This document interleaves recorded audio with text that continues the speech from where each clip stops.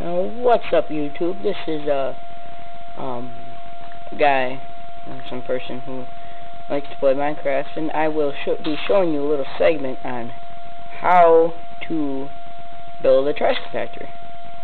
Um, first what you're going to need is you're going to need some cobblestone which you see I don't have. I'm going to go back into my house. Um, you're going to need a source of water. Come on, go inside. Okay, there we go. You're going to need a source of water. Um, I prefer just to build like maybe one out in the middle of a, a big lake or something. Um, then what you're going to need is some torches. Um, this is my trash compactor right here. I can show you what it looks like. Um, what you, all you have to do is just go up, stand right here, and then throw throw what you need down in the trash compactor here and the water will take it down in there. You see that? It'll take it down in there. Um and then also I will be building another one. Show you guys it. And if you drop a block in there you don't want uh, I prefer to build maybe like a little escape hatch so you can go down there and get your blocks. And then um, if you want to um, I'll show you how to build one now. Okay, so what you're going to do is you're going to want to find land where it's completely dry. I'll just build something out here. Get my cobblestone out. Um, I'll just build a tiny one. It's not going to be very big.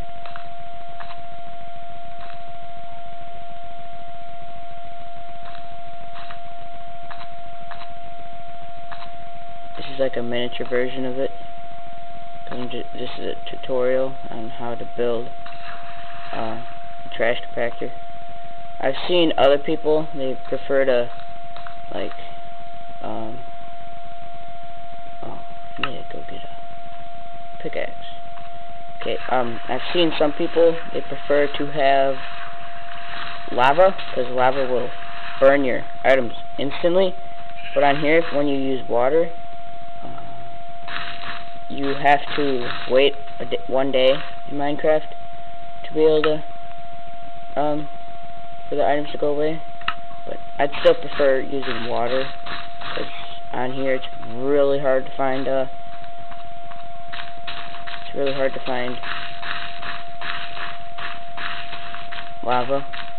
In some worlds you can find lava, but so now what you're going to do is you're going to want to dig out where you put the hole uh, make sure you don't dig out the edges. Um, you're just going to keep on digging down until you get, you can make it a certain height if you want.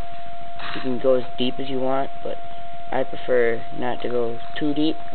Maybe deep enough so you don't accidentally pick up the, um, accidentally pick up the blocks.